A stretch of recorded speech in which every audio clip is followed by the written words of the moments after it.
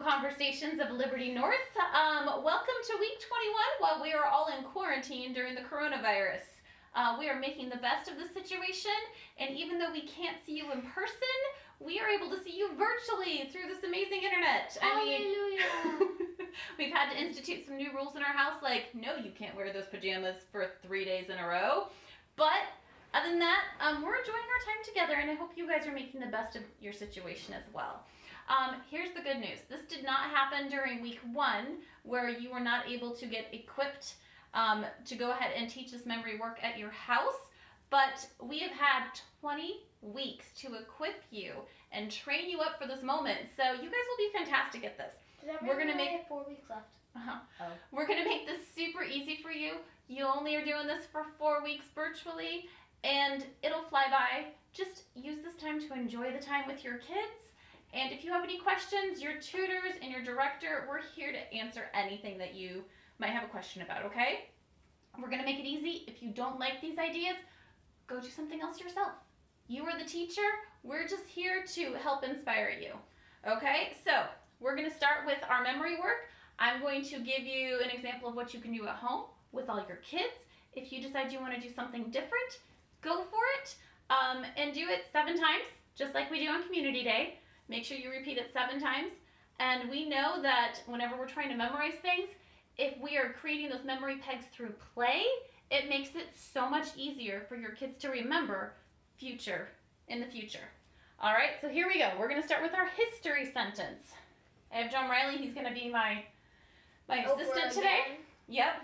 So history, tell me about the end of the Cold War. In the 1980s, British Prime Minister Margaret Thatcher and American President Ronald Reagan worked together to end the Cold War, lessen big government, and strengthen the conservative movement. So here's the actions that we're going to have in the 1980s. So 1980s, and then there's some music. Ooh, British Prime Minister, the British drink a lot of tea, right? British Prime Minister, Margaret Thatcher, and American President Ronald Reagan, and it goes along so well with the music, Ronald Reagan, worked together to end the Cold War, lessen big government, and strengthen the conservative movement. Okay? Do the actions again with me. Tell me about the end of the Cold War. In the 1980s.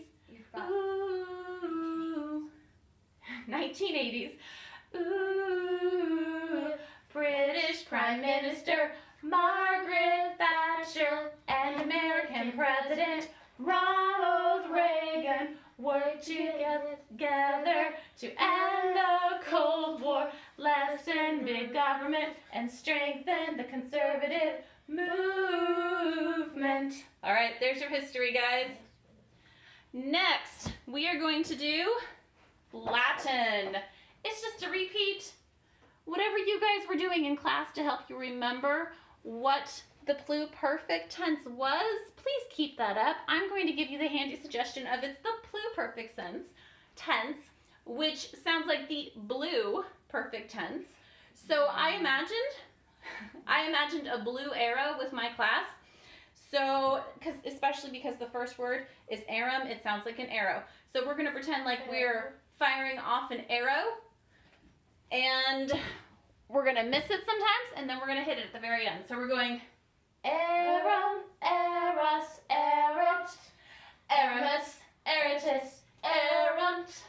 First conjugation, pluperfect tense. Okay? That is our Latin. Um, English. Everybody has a ball laying around the house. We're gonna do, what is a conjunction? A conjunction is a word used to connect words, phrases, or clauses together. I. We're gonna start off with one person. A conjunction is a word used to connect words phrases or clauses. together. All right, easy enough, right? Seems Okay. easy. That's English. Okay. Math. This one is really wordy, but John Riley's up for the task. So we're gonna do the associative law for addition states, open parentheses, A plus B, closing parentheses, plus C equals A plus opening parentheses, B plus C, closing parentheses. What I would suggest at home, we're going to keep the stick and sand. You can go outside and you can write this out with a stick and sand outside. You can use sidewalk chalk. We're allowed to go outside, guys, just into our front yards. We can use sidewalk chalk.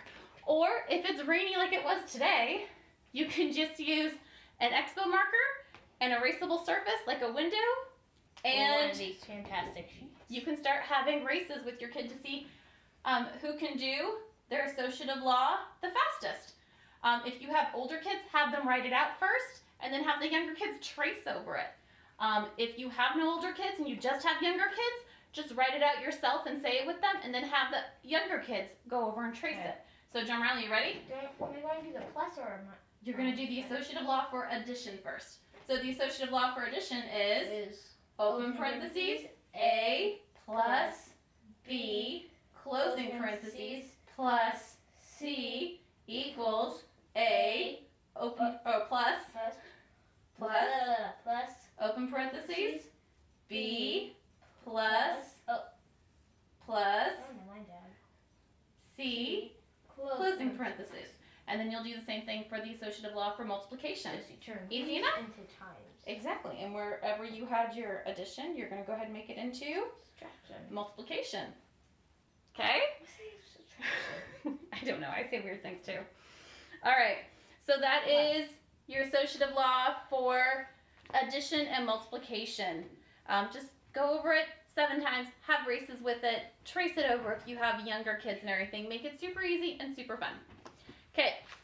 Our next one is going to be geography for Central America. Central America geography. You all have these amazing guides at your house, right? I need glasses to see it. You all have your you all have your maps in the back of the book. Right here is Central America This tiny Okay. little box. on page 172. Central America, I would make this super easy. Just point to them. You can go ahead and do the version that's already has the names written on there for you. But just point to it. Belize, Guatemala, Honduras, El Salvador, Nicaragua. Okay? Pointed it out. Now John Riley will do it. Boom. Belize, Guatemala,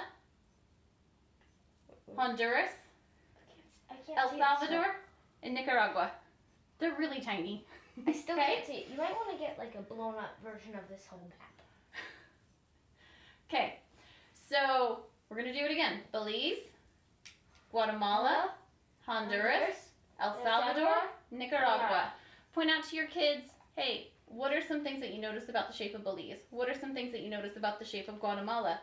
And so on and so forth. Um, I would start off slow and then go to the blank side and try to do it the blank side. Okay, um, Belize, Guatemala. Wait, Guatemala. Guatemala, Um,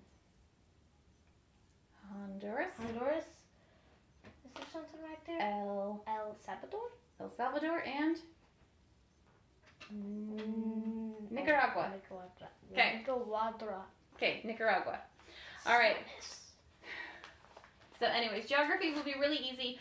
Just look at the map, find the places on there, recognize how the shapes differ from each other so you can find it later. Okay? And then we have my favorite one is science. What is the third law of thermodynamics? This one's fun.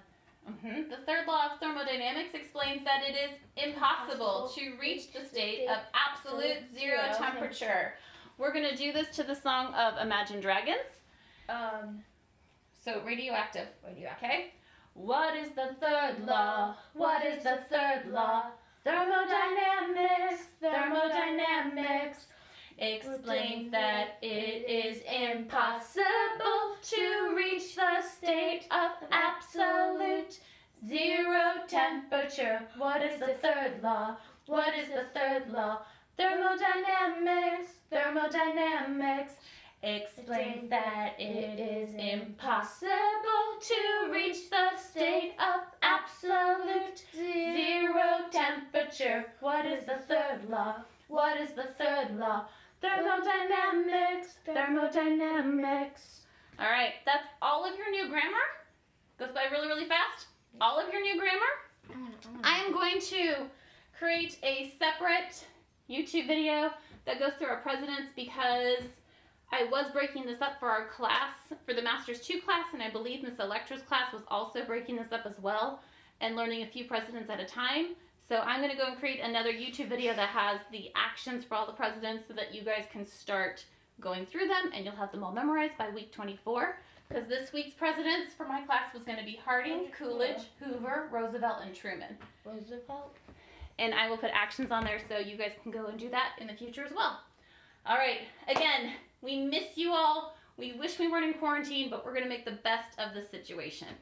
I will see you after this very long extended break. Hopefully, we'll be able to see some of you in the summertime and we will have a chance to reconnect.